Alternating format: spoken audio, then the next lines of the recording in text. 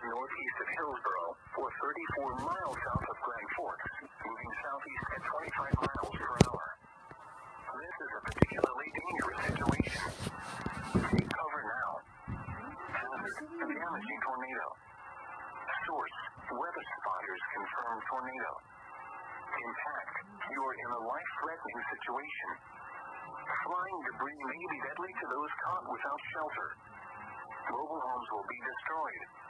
Considerable damage to homes, businesses, and vehicles is likely and complete destruction is possible. The tornado will be near Caledonia around 6.15 p.m. Houston around 6.30 p.m. This includes Interstate 29 between mile markers 101 and 106. If a tornado or other severe weather is spotted, report it to the National Weather Service or your local nearest law enforcement agency who will send a report. This act may save the lives of others in the path of dangerous weather. Issued at 6.20 p.m. The severe thunderstorm warning for South Central Norman